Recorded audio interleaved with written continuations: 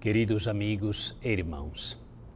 Continuando a reflexão sobre a mensagem do Papa para a 29 Jornada Mundial da Juventude, que acontece no domingo de Ramos, 13 de abril, o Papa se preocupa de explicar o sentido da frase escolhida das bem-aventuranças: Felizes os pobres em espírito.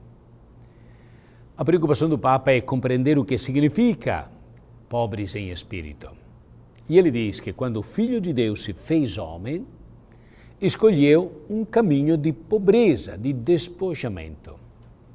Como diz São Paulo na carta aos Filipenses, tende entre vós os mesmos sentimentos que estão em Cristo Jesus. Ele que é de condição divina, não considerou como uma usurpação ser igual a Deus.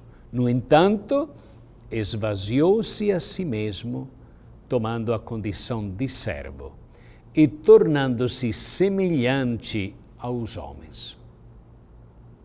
Jesus é Deus que se despoja da sua glória. Vemos aqui a escolha da pobreza feita por Deus. Sendo rico, fez-se pobre para nos enriquecer com a sua pobreza. É o mistério que contemplamos no presépio, vendo o Filho de Deus numa manjedoura e mais tarde na cruz, onde o despojamento chega ao seu ápice. Este adjetivo pobre não tem um significado apenas material. Ele quer dizer mendigo evoca humildade, consciência dos próprios limites, da própria condição existencial de pobreza. São os anavim, é, os pobres de Deus que confiam no Senhor e sabem que dependem dele.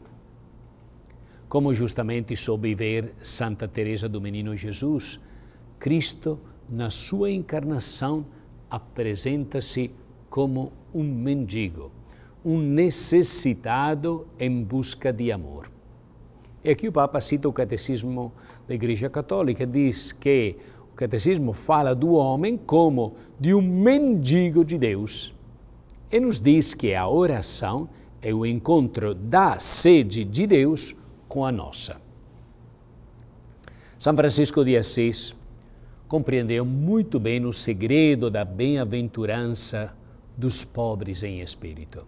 De fato, quando Jesus lhe falou na pessoa do leproso e no crucifixo, ele reconheceu a grandeza de Deus e a própria condição de humildade.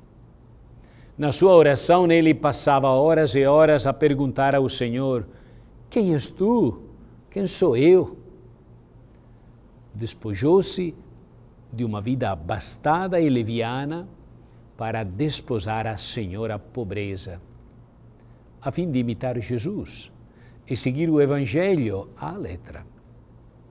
Francisco viveu a imitação de Cristo pobre e o amor pelos pobres de modo indivisível, como as duas faces de uma mesma moeda. E agora o Papa apresenta uma pergunta, mas em concreto, como é possível fazer com que esta pobreza em espírito se transforme em estilo de vida, incida concretamente na nossa existência? E o Papa responde com três pontos. Diz: antes de mais nada, vocês jovens procurem ser livres em relação às coisas.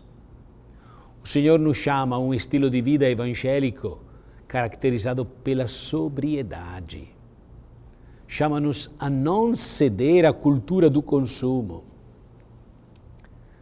Trata-se de buscar a essencialidade, aprender a despojarmos-nos de tantas coisas supérfluas e inúteis que nos sufocam.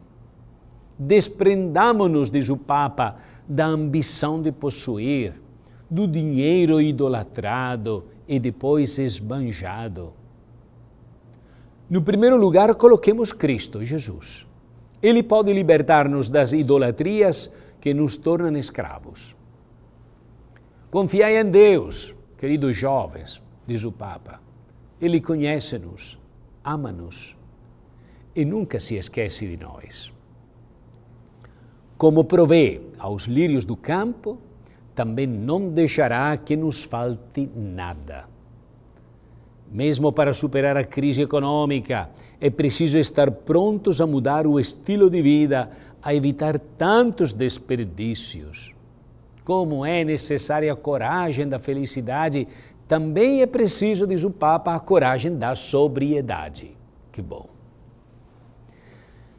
Em segundo lugar, o Papa diz que para viver a bem-aventurança, esta aqui, é, felizes os pobres em espírito, todos necessitamos de conversão em relação aos pobres.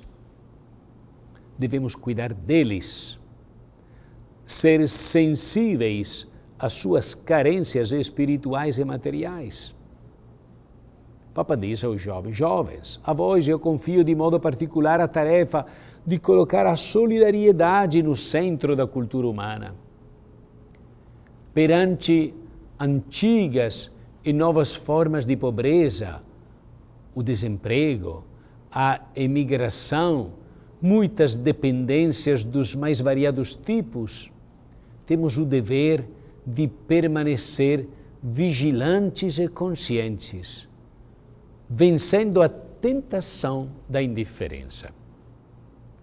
Pensemos também, diz o Papa, naqueles que não se sentem amados, não olham com esperança o futuro, renunciam a comprometer-se na vida porque se sentem desanimados, desiludidos, temerosos. Devemos aprender a estar com os pobres. Não nos limitemos a pronunciar belas palavras sobre os pobres, mas encontremos-los, fixemos-los, fixemos os olhos, nossos olhos nos olhos deles, ouçamos-los para nós, os pobres são uma oportunidade concreta de encontrar o próprio Cristo, de tocar a sua carne sofredora. Mas, e aqui nós chegamos ao terceiro ponto. Mas os pobres não são pessoas a quem podemos apenas dar qualquer coisa, diz o Papa eles têm tanto para nos oferecer, para nos ensinar. De certo modo, os pobres são uma espécie de mestres para nós. Ensinam-nos que uma pessoa não vale por aquilo que possui, pelo montante que tem na conta bancária. Um pobre, uma pessoa sem bens materiais, conserva sempre a sua dignidade. Os pobres podem ensinar-nos muito também sobre a humildade, a confiança em Deus. Na parábola do fariseu e do publicano, Jesus propõe este último como modelo, porque é humilde e se reconhece pecador. E a própria viúva, aquela viúva que lança duas moedinhas lá no tesouro do templo, é exemplo de generosidade, de quem, mesmo tendo pouco ou nada, dá tudo. Tema central no Evangelho de Jesus é o reino de Deus. Jesus é o reino de Deus em pessoa, é o Emanuel, Deus conosco. E é no coração do homem que se estabelece e cresce o reino, o domínio de Deus. O reino, diz o Papa, é simultaneamente dom e promessa. Já nos foi dado em Jesus, mas ainda deve realizar-se em plenitude. Por isso rezamos ao Pai cada dia: venha a nós o vosso reino. E o Papa diz: o Senhor quer uma igreja pobre, que evangelize os pobres. Quando Jesus enviou os doze em missão, disse-lhes: Não possuais ouro, nem prata, nem cobre em vossos cintos, nem alforge para o caminho, nem duas túnicas, nem sandálias, nem cajado, pois o trabalhador merece o seu sustento. A pobreza evangélica é a condição fundamental para que o reino de Deus se estenda. As alegrias mais belas e espontâneas é, que nós podemos ver na nossa vida são aquelas das pessoas pobres que tinham pouco a que se agarrar. A evangelização no nosso tempo só será possível, diz o Papa, por contágio de alegria. Como vimos, a bem-aventurança dos pobres em espírito orienta a nossa relação com Deus, com os bens materiais e com os pobres. À vista do exemplo e das palavras de Jesus, dai-nos conta da grande necessidade que temos de conversão, de fazer com que a lógica do ser mais prevaleça sobre a lógica do ter mais. É que o Papa lembra o Magnificat, diz o Magnificat, o cântico de Maria, a pobre em espírito, é também o canto de quem vive as bem-aventuranças. A alegria do Evangelho brota num coração pobre, que sabe exultar e maravilhar-se com as obras de Deus, com o coração da Virgem, que todas as gerações chamam bem-aventurada. E o Papa termina dizendo que ela, a mãe dos pobres, a estrela da nova evangelização, nos ajude a viver o Evangelho, a encarar as bem-aventuranças na nossa vida, a ter a coragem da felicidade.